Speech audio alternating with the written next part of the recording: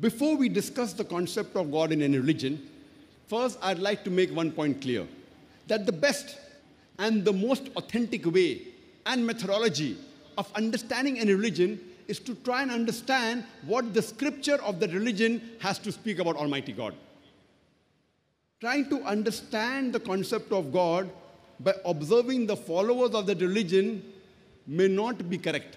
Because many a time, the followers of that religion themselves do not know what is the correct concept of God. That's the reason the best, the most authentic methodology to understand the concept of God in a religion is to try and understand what the sacred scripture of that religion has to speak about God.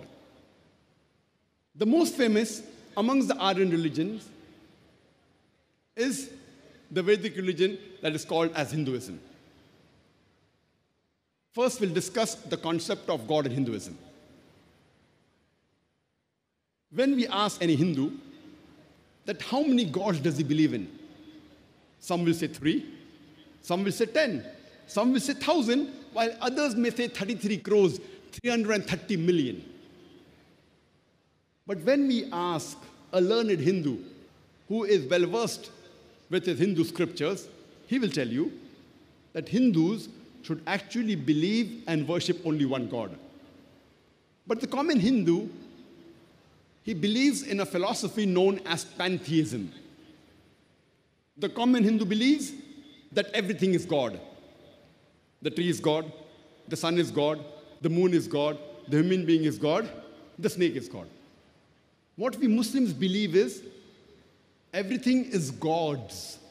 G O D with an apostrophe S. Everything belongs to God. The tree belongs to God, the sun belongs to God, the moon belongs to God, the human being belongs to God, the snake belongs to God. So the major difference between the Hindus and the Muslims is the common Hindus say everything is God, we Muslims say everything is God's. G O D with an apostrophe S. The major difference is the apostrophe S. If we can solve this difference of apostrophe S, the Hindus and the Muslims will be united. How do you do it? As the Quran says, Come to common terms as us and you. Which is the first term? Allah na'budu illallah. That we worship none but one Allah subhanahu wa ta'ala. So let's try and understand what is the concept of God in Hinduism according to the Hindu sacred scriptures. Amongst the Hindu sacred scriptures, one of the sacred scriptures are called as Upanishads. It's mentioned in the Chandogya Upanishad, chapter number 6, section number 2, verse number 1. Ekam evadvitiyam. It's a Sanskrit quotation which means God is only one without a second. It's mentioned in the Shweta Upanishad, chapter number 6, verse number 9. Nachasya kashid janitana chadipa, which means of that God, there are no parents, no lords. Almighty God has got no father, He has got no mother, He has got no superior. It's mentioned in the Shweta Shwetara Upanishad, chapter number 4, verse number 19. Natasya pratima asti. Of that God, there is no pratima. Pratima in Sanskrit means an image. It means an idol. It means a sculpture. It means a photograph. It means a picture. It means a painting. So Sveta Svetara Upanishad, chapter number 4, verse number 19 says, Natasya asti. Of that God, there is no image.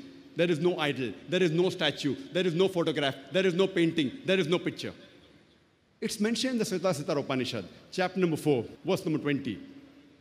It says that you cannot see the image of God. The eye cannot comprehend God.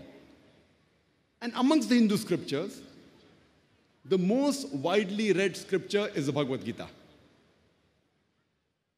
This is the Bhagavad Gita, which is the most popular and most widely read book amongst the Hindu scriptures.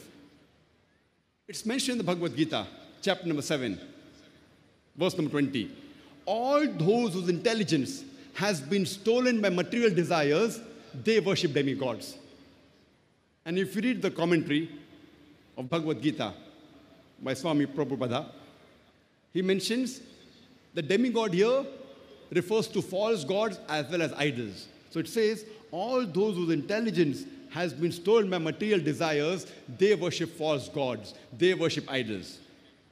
It's further mentioned in Bhagavad Gita, chapter number 10, verse number 3. They know me as the unborn, beginningless, and the supreme Lord of all the worlds.